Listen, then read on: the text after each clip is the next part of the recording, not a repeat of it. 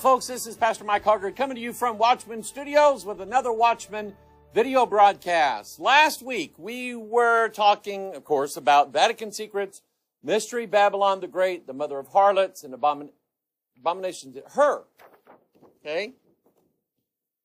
She looks so innocent, doesn't she? And so beautiful. Loving eyes. She's a murderer. She's a destroyer. She's a drunk. And she's out to steal our vineyards. If you remember, if you have, if you haven't seen last week's episode, I encourage you to stop here. I'll wait. Okay, are you back? Watch last week's episode. So this one, because I don't want to backtrack more, I want to move forward with the information I have for you. But um, we talked about how the, the Bible story of Ahab and Naboth and his vineyard and Jezebel are seen now in the Catholic Church because the role of Mystery Babylon the Great, number one, we saw that she hates Bible Christianity. She hates the Word of God. She makes, she, she gets drunk off of the blood of fornication, which is why you have so much sexual perversion in this world. It is everywhere.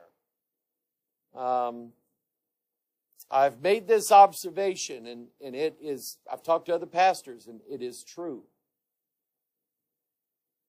Practically every family in this country has an immediate or an extended family member that is a sodomite, and if you don't know what that term means, LGBTQ plus, and they will be adding, um, what do they call it? MAPS, minor attracted persons. See, they just used to call them uh, child perverts or pedophiles or whatever child rapists is what they are. Um, that'll be added before too long. The target is the children. The children are the vineyard. You understand it now? And what spirit is trying to get, that's, that's what Jezebel does. Jezebel, when Ahab couldn't get the vineyard from Naboth, Jezebel said, I'll get it for you. Right? So how do you destroy a country? Well, the Bible says that Righteousness exalts a nation, but sin is a reproach to any people.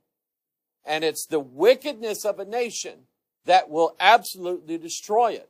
Sodom and Gomorrah are our examples. We have other examples in the Bible, but those two are the most famous, which is why we call, the Bible calls people who are LGBTQ plus sodomites.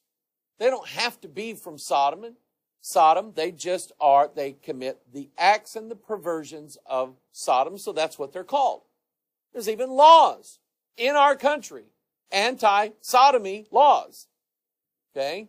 There is a, you know, laws that say, well, you sodomized so and so, so you're going to go to jail for this long. We still use that example in understanding the perversions that get into people. And now we have in this country perversions in practically every family. And it's moving into the churches. I, I made mention on Pastor Mike Online here a while back that the denomination that we used to belong to, that we have gone, we've been gone for years because we saw them moving away from the Word of God. And the result of that is now they've taken a soft stand on LGBTQ plus and a soft stand today will be a recognition, a welcoming, an acceptance of LGBTQ plus sodomy in the near future. It's happening right in front of our eyes with churches and denominations that took a soft stand years ago. Now, anything goes. And that's where everything goes. So, Jezebel, Mystery Babylon the Great, She steals denominations and destroys, has them destroyed. She steals families, homes, churches, the Word of God, you name it. When she takes over, remember what Naboth wanted. When he wanted, or excuse me, King Ahab, when Ahab would have gotten Naboth's vineyard, he wasn't going to keep it a vineyard, leave it the way it was. Oh, no, no, no. He said, I'm going to change it into a garden of herbs. And that's the thing. When Jezebel gets into a church or gets into a country, when Jezebel, Mystery Babylon, gets into a home and she takes over and steals it, and the devil gets in there, he changes everything. Look what's happened with our Bible. In over 400 years, the words of this one Bible has not changed. No, it hasn't. No, it hasn't. Has not changed. And yet, the modern translations, well, they're changing them all the time. Five different versions of the NIV. Two significant different versions of the New American Standard Bible. There's the 1995 version or the 2020 version. Take your pick. And they're going to keep changing them because they keep changing the Greek text. That's what Ahab was doing. He said, I'm not going to keep it a vineyard. I'm going to change it and turn it into something else. And this is where we stand right now. And I'm telling you that her, this is not Mary. Okay? And, and any statue that you would see of Mary is not Mary. Any, and I'm going to eventually get into Marian apparitions. And any appearance of Mary is not Mary. It's mystery, Babylon the Great, the mother of harlots and abominations of the earth. So let's get into the scriptures. Isaiah 47 1 Come down and sit in the dust, O virgin daughter of Babylon. So that is the Bible tying them two together. The virgin lady is Babylon, and Babylon is playing the part of the virgin lady. But she's not really a virgin anymore. She's a harlot, and she is the mother of harlots. So, remember what I said last week about her wanting to, um, let's say, a, a denomination. The devil wants to, because, because Lucifer said in Isaiah 14, I will sit also upon the mount of the congregation Congregation is the, the body of God's people, the churches. Does the devil want to rule over churches? Yes. What's keeping him from it? The Word of God, the law of God, and a pastor and a strong church that will stand with the Word of God, and they will say, this is the vineyard. We're not allowing it to be changed into anything. And so Jezebel says, Oh, I bet I can do that. And so she gets in denominations, she gets in uh, churches, she gets in schools, she gets in families, she gets in countries. She is in everything. And so is the Catholic Church.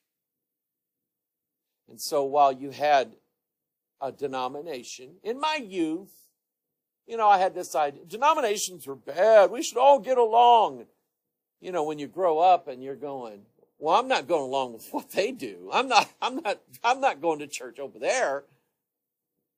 Then we see that there's a need for denominations. Just as my left hand is not the same as my right hand, even though they kind of look alike, they just don't, I can't shake my own hand.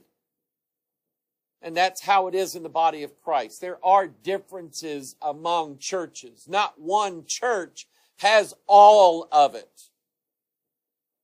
And so, yes, there are differences in denominations. And so, the Vatican now, since 1963, with the Second Vatican Council,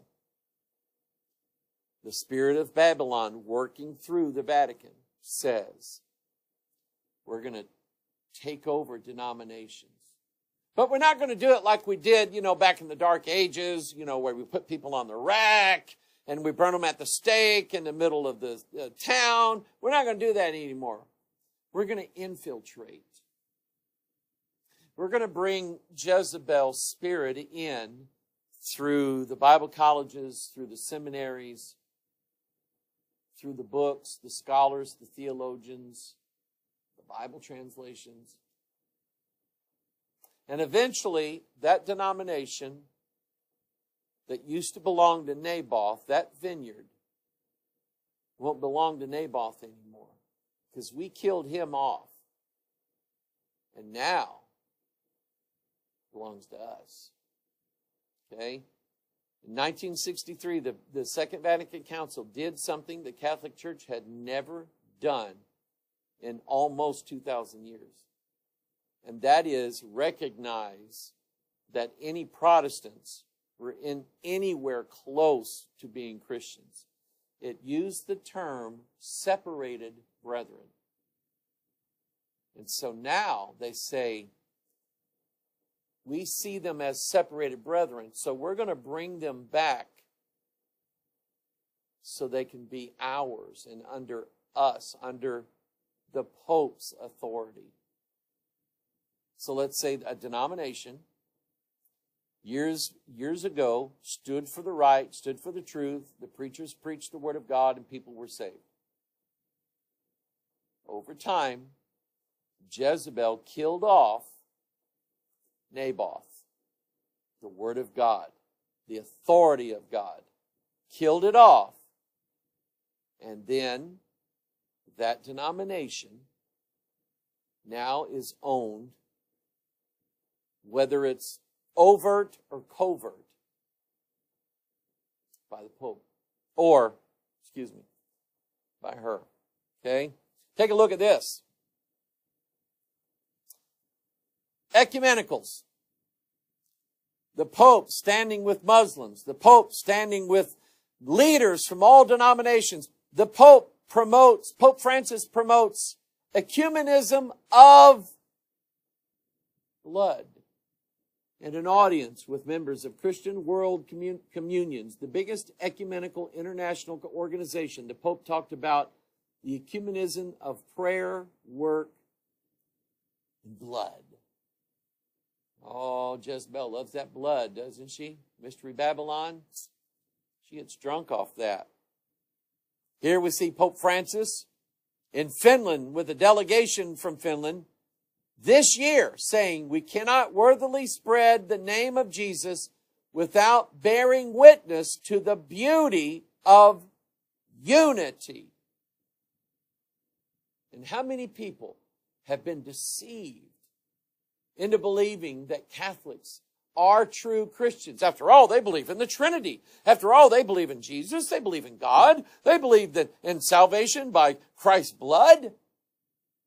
Yeah, but they believe that they re-kill Jesus every time they hold a mass. And they believe that you say prayers to idols, which God said, no, you don't do that. And if you do that, you're none of mine and on and on and on and on. And the idea that they have Mary now on an equal slate with Jesus Christ. I'll show you that. Let me move on.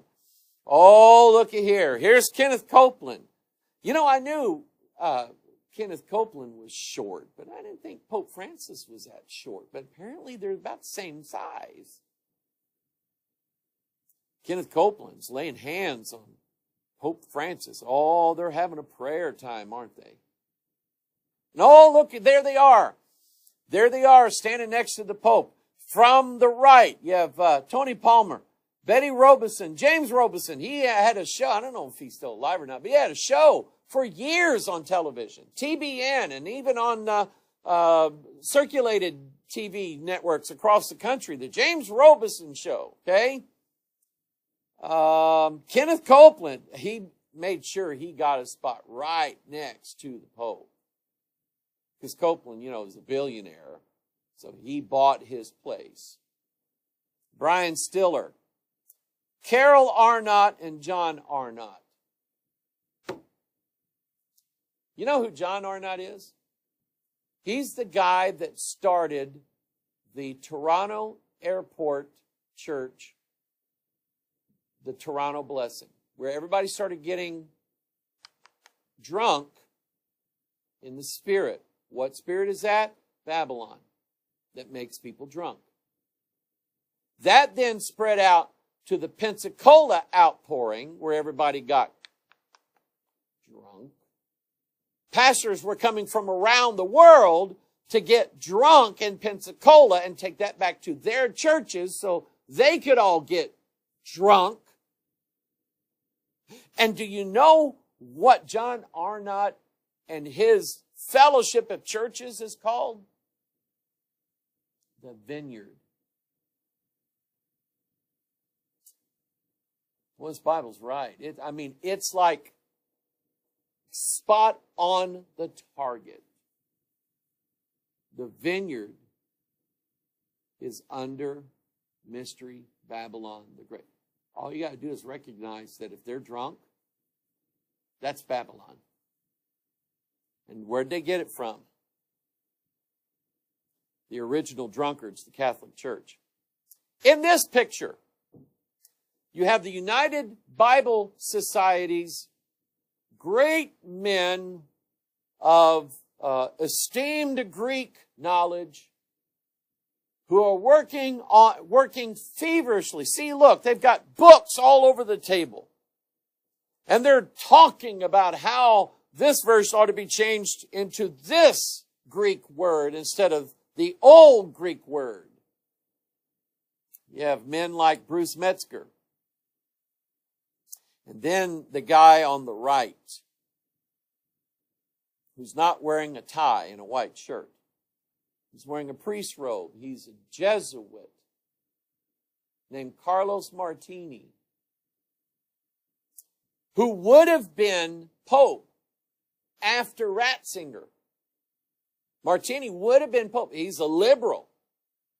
But Martini said to all the cardinals there, if you plan on voting for me, don't. Give your vote to uh, Bergoglio from Argentina. And we'll turn this place upside down. Because him, Martini, and Bergoglio were buddies. Okay? So now you have a, a Jesuit plant. And, and by the way, he's no longer on the committee. Most of these guys are dead.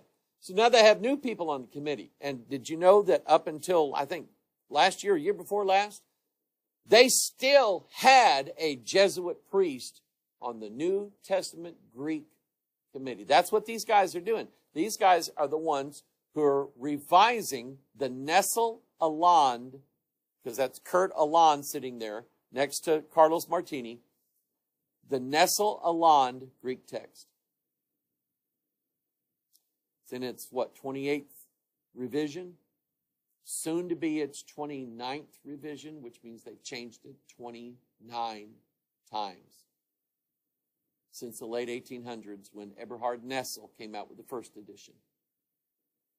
And they're using the manuscripts that Brooks, Westcott, and F.J.A. Hort said are better than the 5,000 manuscripts group called the majority text from which the Textus Receptus comes, from which the New Testament of the King James was translated from. So you got the King James on one side, you have Westcott and Hort in the late 1800s saying, no, no, no, the Sinaiticus and the Vatican Greek text are far superior than the 5,000 other Greek texts. Two, remember, remember what, how many people witnessed against Naboth? Remember how many people witnessed against Jesus? And their witness agreed not with each other. And when you compare the Sinaiticus with the Vaticanus, like 3,000 times just in Matthew, Mark, Luke, and John. The Sinaiticus doesn't agree with the Vaticanus. That's just in the first four books of the New Testament. But Westcott and Hort argued that those manuscripts were the best ones. And so it was those manuscripts that made it back to this committee with the Jesuit priest on it who knew the Vatican text was, I'm not, I don't know that he believes that it's a corrupt text. I think he just believes it's the right one. But remember, he's under her drunken spirit. Okay? So, guess what? Westcott and Hort, both of them, favored worshiping Mary. Hort said, Fenton Hort said, I have been persuaded for many years that Mary worship and Jesus worship have very much in common in their causes and their results. Westcott said, I wish I could see to what forgotten truth Mariolatry, the worship of the Virgin Mary, bears witness. In other words, he's saying that worshiping Mary probably has some great forgotten truth that we've lost. Oh, I wish I could find out what that truth was. See, she's the one responsible. For these guys using the two corrupted texts that ended up in the United Bible Society with this Jesuit priest, which is now the Greek text that is in all the seminaries, most of the Bible colleges, most of the Bible institutes, is the underlying Greek text for every modern translation of the Bible in any language. The King James and translations of the King James in other languages. They're the ones who are not based upon the corrupted Vatican texts. See, Mystery Babylon, she's done her job pretty well. And you know as well as I do how difficult it is to find a church that just preaches the King James. You get it, don't you? Okay? Now, you know, some people are probably going to, are, are angry that I'm, you know, like calling this thing, it's not Mary, it's Babylon the Great. Okay? And you're going, oh, you should die. God's going to get you. Mary's going to, whatever. Let me show you. You know, when I say the Catholic Church believes this and the Catholic Church says this and the Pope says this, they don't come up with this stuff on their own. Ephesians 2 tells us that everybody that's lost follows the prince of the power of the air, the spirit that now worketh in the children of disobedience. And so we know that those powers in the Vatican are under the control of a spirit. What spirit is it? Mystery Babylon the Great. Now, she appears to them as Mary.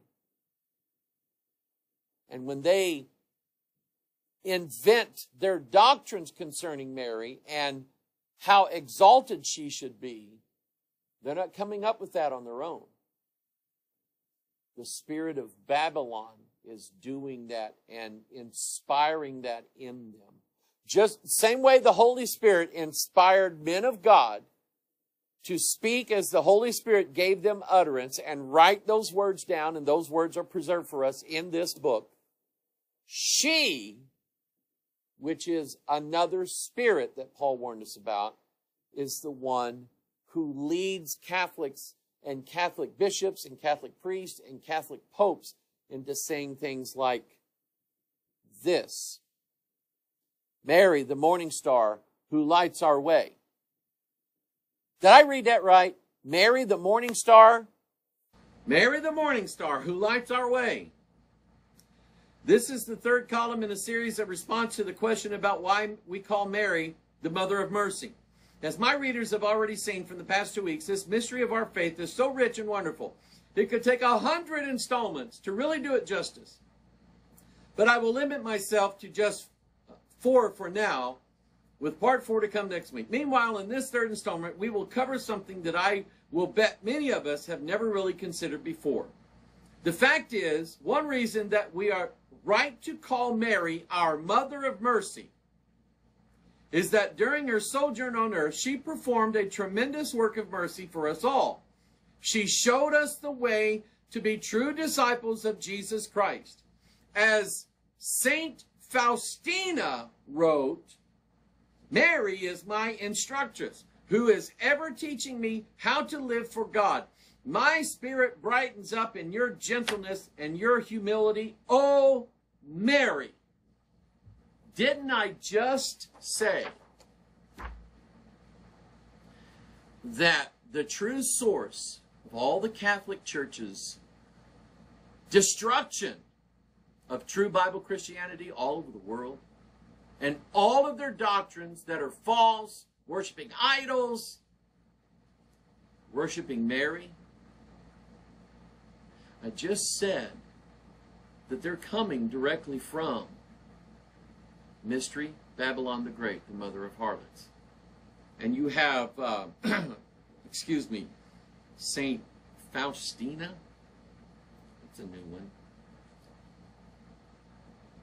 Who basically says she's my instructress, who is ever teaching me on how to live for God.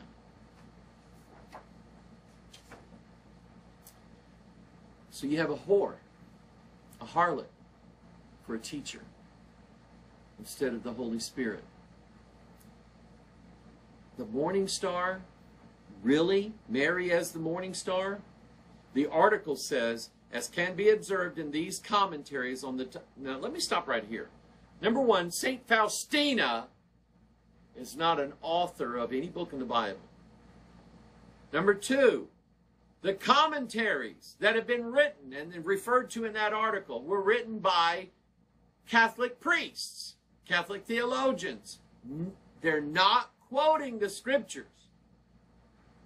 They're getting their words inspired to them by Babylon the Great. As can be observed in these commentaries on the titles of the Litany of Loreto, Cardinal Newman had a deep and tender devotion to the Mother of God for the close of the month of May, he comments on the title Morning Star. He notes that Mary is called by two names that convey her beauty Mystical Rose. Oh, wait till you see what I found out about that.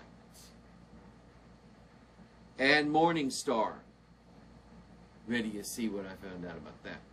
Anyway, but the later suits her best because a rose belongs to the earth and has a short life. A star, instead, is high in heaven and abides forever. Stop right here. What is a star? According to the Bible, what is it? It's an angel. What did Paul say? Though we or an angel from heaven bring you any other gospel let him be accursed. As I said before, so say I again. Though we or an angel from heaven preach any other gospel, him be accursed. I'm telling you, this Bible, if you'll read it, you'll find out that it's right on target. This Bible shoots way better than I do and never misses its target. Okay? Um, he writes, It is Mary's prerogative to be the morning star, which heralds in the sun. She does not shine for herself or from herself, but she is the reflection of her and our Redeemer, and she glorifies him. Do you know what that makes her? Lucifer. That's what it makes her. Let me read that again. She does not shine for herself or from herself, but she is the reflection of her and our Redeemer, and she glorifies. That's Lucifer, the light bearer. Okay? So they have a little song or a little prayer. Holy Mary, morning star, you always lead us to your Son, the Father, and the Holy Spirit. Be always close to us, guiding us to the blessed Trinity. Now, this is what we call in theological circles blasphemy. To refer to Mary, Mystery Babylon, the great the mother of all its abominations of the earth, to refer to her as the morning star is blasphemy. So if the NIV or any other Bible says, How art thou fallen from heaven, O morning star? Well, that would be blasphemy, wouldn't it? Um, let me show you this thing about the rose first. See, they called her the mystical rose. Now, you know, take a look here. There's a rose, and you know that what Catholics pray with is called a what? Rosary. And what a rosary does is Catholics are instructed to pray 150 times a day.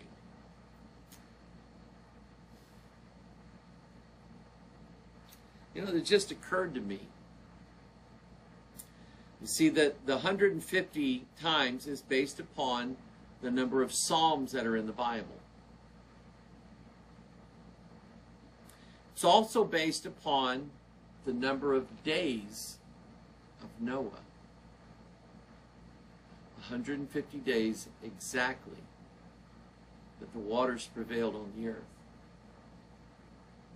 And it's also the exact amount of time, being five months,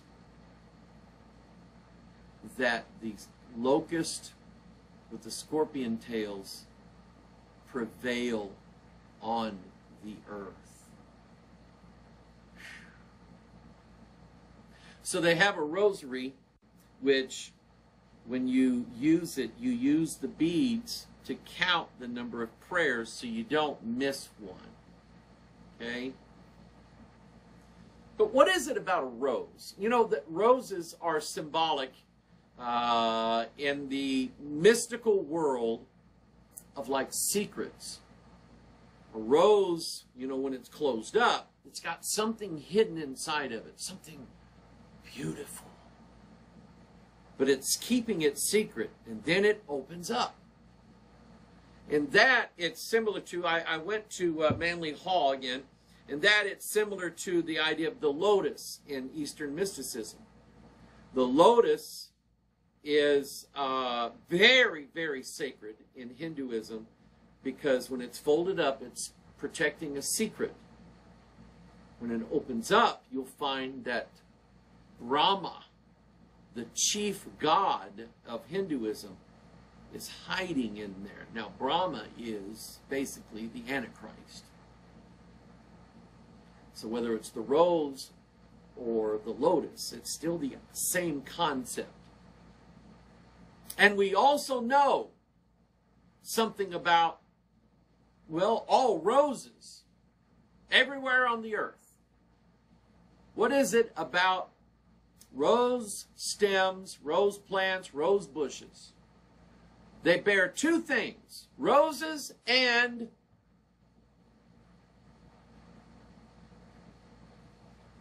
And what are thorns a, a, a figure of? Sin. So what did they put on Jesus' head? A crown of thorns. So it represents the Antichrist, the man of sin, the king of sin, who was destroyed at the cross. Amen? because the Bible says that Jesus made a show of his enemies openly, crown of thorns, and he took them to the cross. And he killed them. He's like Samson. He killed more of his enemies in his death than he ever did in his life. Amen. Amen. Amen. I love this.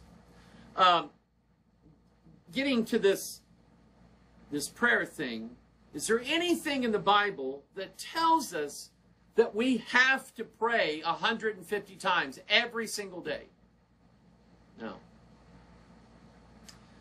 Is there anything in the Bible about saying uh, Ave Maria, Gratia Plena, Dominus Tecum? No, no, no, let's see. Yeah, Dominus Tecum et benedicta tu in mulieribus. I'm probably messing my Latin all up. But anyway, Holy Mary, Mother of God, pray for sinners now and the hour of our death. Amen. And then start all over again. Is there anything in the Bible about repetitive prayers? Yeah. Jesus said, but when you pray, use not vain repetitions as the heathen do, for they think that they shall be heard for their much speaking. Jesus specifically said, don't pray that way. So what do what does what does uh, Babylon tell all of the people to do?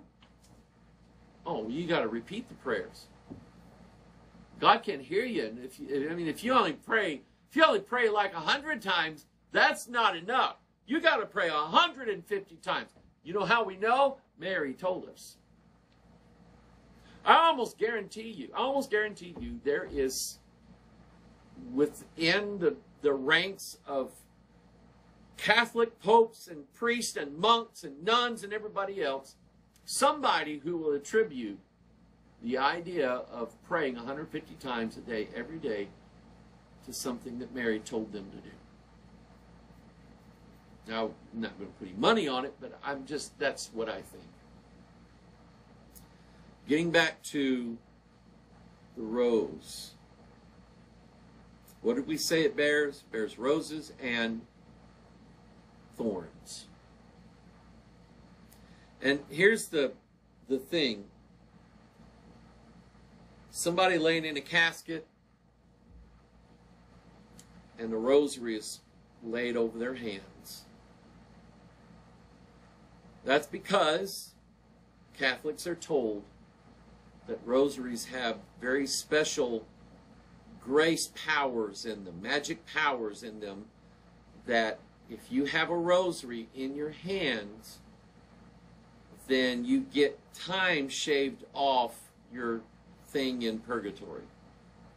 That God's graces can be manifested in, in your hour of death, your time of death, so that if you have any remaining sin, then that rosary in your hand can cut off some of it. Some even it's it is taught and believed that if you have a rosary blessed by a pope and you're you have it on you when you die, you go right to heaven. Now how do you suppose you get a rosary blessed by a pope.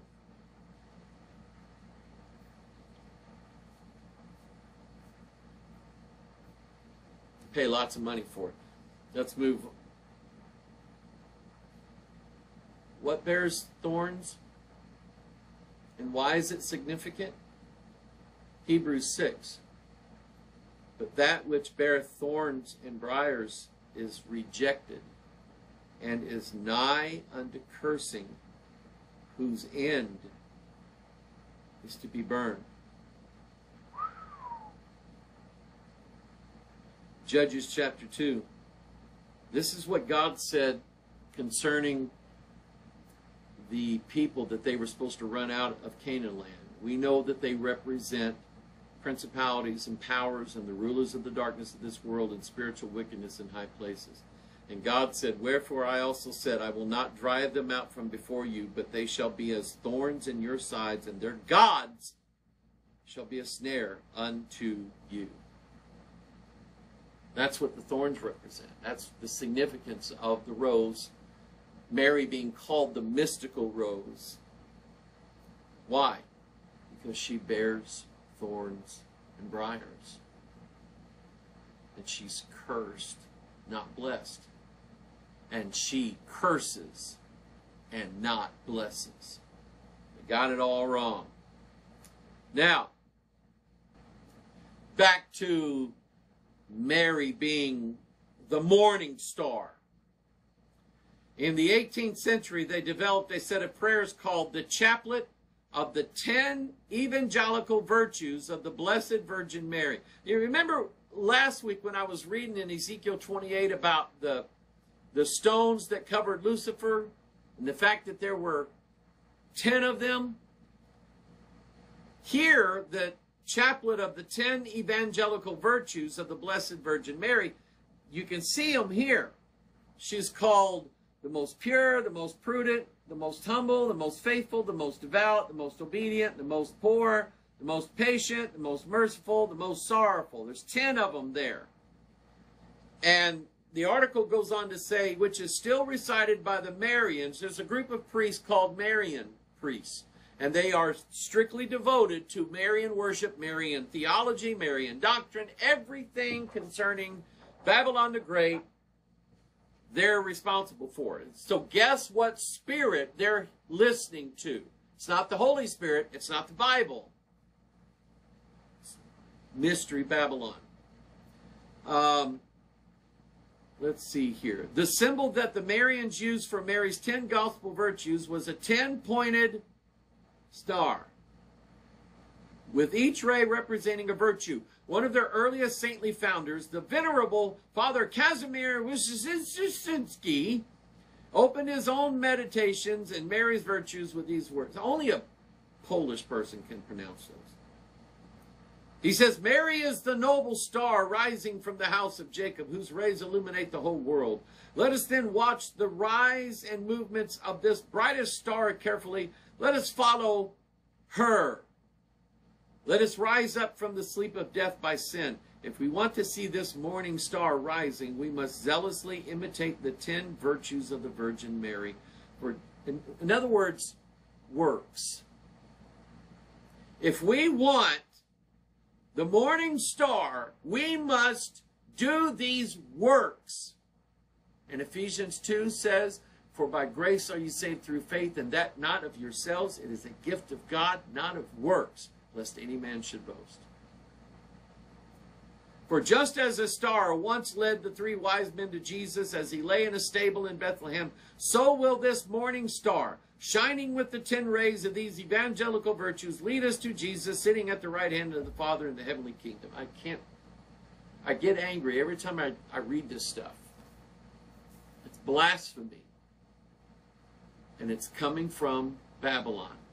That's where they're getting their doc- they're getting them from her, not him. Who's the morning star? This article, I mean, we, we started this thing out back here. Mary, the morning star who lights our way. And Numbers 24 says, I shall see him, but not now. I shall behold him, but not nigh. There shall come a star out of Jacob, and a scepter shall rise out of Israel, and shall smite the corners of Moab, and destroy all the children of Sheth.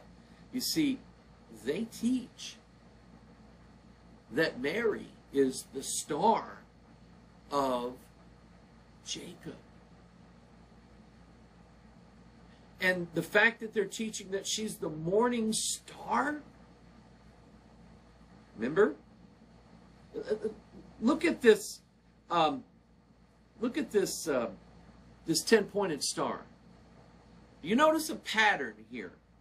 Most pure, most prudent, most humble, most faithful, most devout, most obedient, most poor, most patient, most merciful, most sorrowful, most high. How art thou fallen from heaven, O Lucifer? Son of the morning, how art thou cut down to the ground, which didst weaken the nations, for thou hast said in thine heart. And all, all modern Bible translations either have, how, how are you, how have you fallen from heaven, O morning star, or star of the morning or something, but it's usually morning star. It, it, and the Hebrew word there is halel, and all it means is bright, shining. That's all it means. I will, I will ascend into heaven. I will exalt my throne above the stars of God. I will sit also upon the mount of the congregation, which means the church. In the sides of the north, I will ascend above the heights of the clouds. I will be like, there it is, the Most High. They're calling her the most obedient, the most devout, the most faithful, the most humble, the most prudent, the most pure. You know, even if I were to just take Jesus and set him aside over here just for a minute, the most humble person in the Bible was not Mary. It was Moses. Okay? And that's what the Bible says. Or Abraham. Abraham showed humility and meekness when he let Lot choose whatever land he wanted. Did not say Mary. Revelation 22 tells us who the real morning star is. I, Jesus, have sent mine angel to testify unto you these things in the churches. I am the root and offspring of David and the bright and morning star. Revelation 2.28, I will give him the morning star. Who is the morning star? It's Jesus. So here again, we've got her taking the place of him. That's blasphemy. And what does the beast open his mouth and do? Blasphemes God. She's also referred to as the mother of the saints. I was not born of Mary. She's not my mother. And by the way, this idea that Mary was without original sin, well, that was, where did that come from? Didn't come from the Bible, did it? Because Mary referred to Jesus, or the Lord, as her Savior. She gave birth to the one who would die and save her from her sins. She wasn't sin free or sinless or born without sin. She wasn't. When you see anything called the Immaculate Conception, it's not referring to the birth of Jesus, it's referring to the birth of Mary. But I do have a mother. The inner man, the new man in me, is conceived by God, but birthed by Galatians 4.25, For this Hagar is Mount Sinai in Arabia, and answereth to Jerusalem, which now is, and is in bondage with her children. But Jerusalem, which is above, is free, which is the mother of us all. See, I like that doctrine better than the other one. Heaven is our, is our mother. And now, think, he's talking about Jerusalem above, which is free a city. What is Babylon? A city. So you can decide to either be born of heaven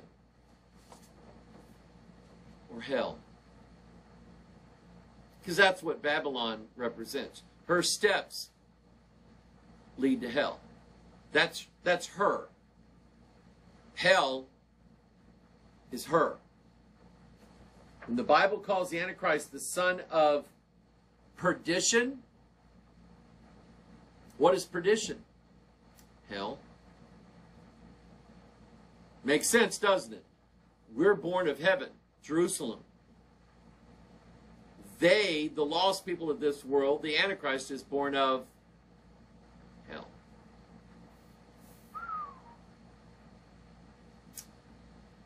Here's some of the, this is from Wikipedia, the dogmatic titles of Mary.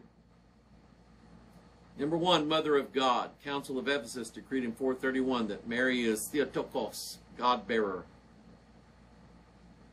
Because her son Jesus is both God and man. Virgin Mary. The doctrine of the perpetual virginity of Mary developed early in Christianity and was taught by the early fathers such as Irenaeus, Clement of Alexandria, and others. Well, not by Peter and Paul and James and John and Jude and Matthew, Mark, Luke. Not by any of those guys. They didn't teach that. They didn't teach anything like it. Okay? Uh, the Immaculate Conception, we talked about that. The Queen conceived without original sin.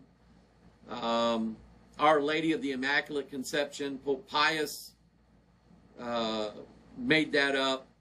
But where did he get it from? What spirit inspired him to do it? What spirit guides these guys? I mean, like I've said, to go to be a Catholic priest, you, you get as much training as a medical doctor. So you've got some of the smartest men, most intelligent men in the entire world who are part of the, and some of them go on and get, you know, uh, doctorates in other disciplines, science and medicine and all kinds of stuff, music and art. And I mean, these guys are brilliant. Some are geniuses. And they read the Bible, surely they do, but there's a spirit in them that will not let them believe that you're not supposed to pray to a statue because they do it. So it's got to be a spirit. It's not their mind doing it. It's the spirit working through their wicked heart. Uh, the assumption, the belief that the Virgin Mary was assumed body and soul into heaven upon completing the course of her earthly life was declared a dogma in 1950 by Pope Pius XII. Now, here's what's called devotional titles of Mary. In the Loreto litanies, Mary's prayers are invoked under more than whatever. Her titles include Ark of the Covenant, It makes me, it, it does. I, I get, I am zealous for this book. I'm zealous for the Word of God. I'm zealous for the things of God. And I'm like Jesus. Jesus got angry when he saw the, the, the money changers in the temple of God. And he threw them out, turned their money over, and, and whipped them. He got, God, Jesus hates violence. Are you kidding me? I'd hate to be one of the money changers. I'm not a violent person, but this stuff, it angers me. Ark of the Covenant, Comfort of the Afflicted, Our Lady, Gate of the Dawn, Holy Mary, Immaculate Heart of Mary, Mother of Christ, Mother of Mercy, Mother of Sorrows, Mother for the Journey, Mother of the Church, we talked about that. Mystical Rose, talked about that. Our Lady of the Annunciation, Our Lady of Charity, Our Lady of Providence, Our Lady of Ransom, Our Lady of Solitude, Our Lady of Ransom. You know what that means, right? That if you're under the bondage of sin, sold under sin, Mary's the one pays the price, the ransom. She's taking the place of Jesus. So it can, it can truly be said that the true head of the Catholic Church, the Church of Rome, is not the Pope, it's not Jesus, it's not God, it's not the Holy Spirit, it's not even Peter. The true head of the Catholic Church is Mystery Babylon the Great by taking the titles that belong strictly to Jesus Christ or the Holy Spirit or God the Father or heaven above is blasphemy. When you make yourself like the Most High, you're a Lucifer. Is what you are. Uh, I've shown this before. There is Mary, who herself, they call her the Ark of the Covenant. Now, in her chest um, is a great big giant emblem of the sun. That that I think that is also a, a, a big um, Eucharist wafer. But when Lucifer said in Ezekiel 28, I sit, I am God, I sit in the seat of God in the midst of the seas. The seat of God is the Ark of the Covenant. And who's there on it? Mary. Taking the place of God. See, I'm telling you, the head of the Church of Rome is Mystery Babylon the Great. Um, here are other names and things for Mary. Advocate of the church, like the judge of Israel. Advocate. No, no, no, no. The Bible says we have an advocate with the Father, Jesus Christ the righteous.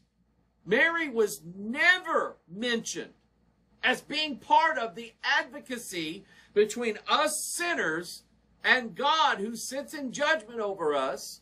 Jesus is our advocate who either says, uh, Father, Judge, his sins are covered by my blood, or Jesus says, Depart from me, I never knew you. Mary's got nothing to do with it. Mediatrix of all graces. In other words, if you want grace from God, you must get it from Mary, the mediator. There's one mediator. We've covered this. There's one mediator between God and men, the man, Christ Jesus. Again, it she takes the name advocate. She takes the name mediator, applies it to herself. Again, this is not this is not this and uh, listen, I love Mary from the Bible. She was a chosen vessel of God to bear the Son of God into this world. And for that, she gets credit, but she doesn't get our prayers. And this fraud posing as Mary is not Mary.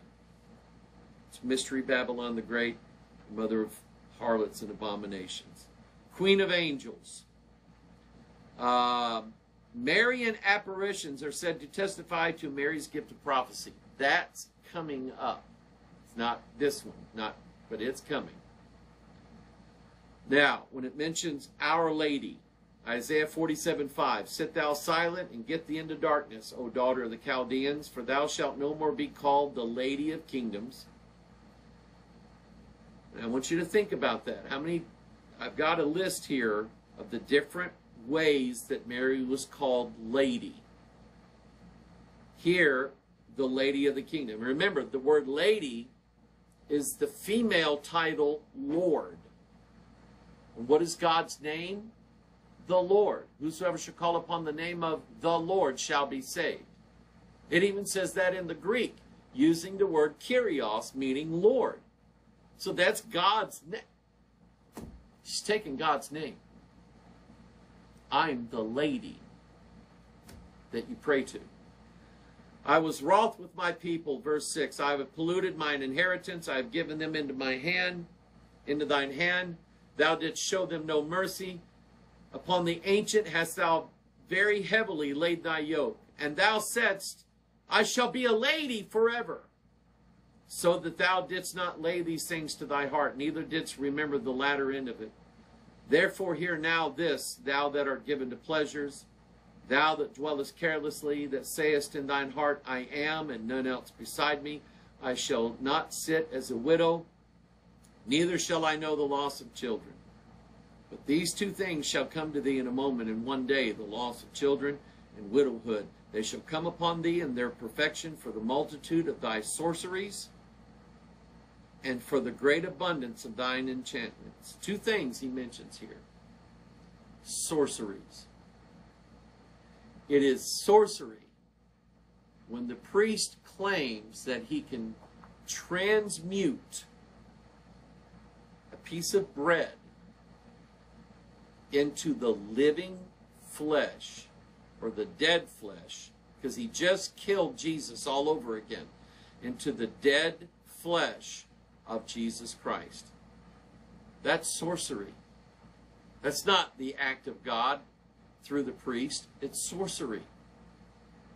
And he says, the abundance of thine enchantments. You know what an enchantment is? Enchantment has the word chant in it. What are the Gregorian monks known for? Their chants. There's even recordings now of Gregorian monks singing their repetitive prayers to music over and over. And people will listen to that and meditate, not meditate the way the Bible says, think on these things, but as a way of emptying their mind so that whatever God lives on the inside of them, whatever spirit resides inside of them, can speak to them in whispers the way a familiar spirit does. And again, what did Jesus say about that? When you pray, use not vain repetitions, as the heathen do, for they that they think that they shall be heard for their much speaking, and that's why these monks, nuns do it too. That's that. That's why they got think they got to say Hail Mary 150 times a day, and then Our Father 150 times a day, and then whatever else they do. That's why the church imposes as a punishment repeating these prayers over and over again. Messed up people. I'm going to end with this. I'm going to read you some of these titles given to Mary. Our Lady of Confidence, Our Lady of Consolation, Our Lady of Good Success, of Guidance, of the Hens, that's weird, Our Lady of Peace, Our Lady of Perpetual Help, Our Lady of Prompt Succor, Our Lady of the Rocks, Our Lady of the Turning Eyes, Our Lady of Bethlehem. The, these are named after different places. Our, like Our Lady of Lebanon, Our Lady of Loreto, Our Lady of uh, Manaoag, I think it might be the Philippines. And then you have titles associated with apparitions. Our Lady of Akita, Our Lady of All Nations, Our Lady of um, Caravaggio, Our Lady of China, Our Lady of Fatima, Guadalupe, Our Lady of uh, Mount Carmel, Our Lady of uh, the Pillar, Our Lady of the Snows, Our Lady of Walsingham, right here. It's a scene from a movie. Our Lady of Guadalupe. Wait till you hear what she said that everybody had to do. Okay? You just wait. The next time we get together, I'm going to take you through some of these so, so-called apparitions, and you'll see the blasphemy coming out of her mouth. You're going to see a difference between her and Jesus Christ. All right? This is Pastor Mike. You're the reason why we do what we do. Pray for us because you know from our story about Jezebel, she don't like preachers who preach the Word of God. Okay? See you next time. Bye-bye.